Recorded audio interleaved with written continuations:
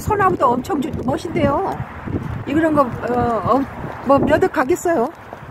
이거. 불로문이라고. 어.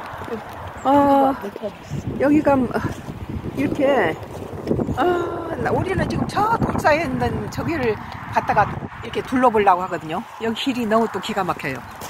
돌을 먼저 보여드릴까? 어, 그래, 글쎄. 여- 돌 먼저 보고.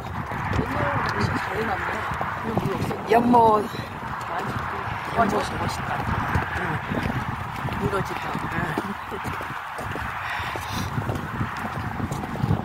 안 무서워. 다 이게 또 이런 멋있는 소나무를 어디서 다 이렇게 구했나? 능수 누룩이라고. 아, 아주 잘, 예술이다. 응. 이거 아주, 아주 잘, 나무를 잘 가꿨네요. 아하하.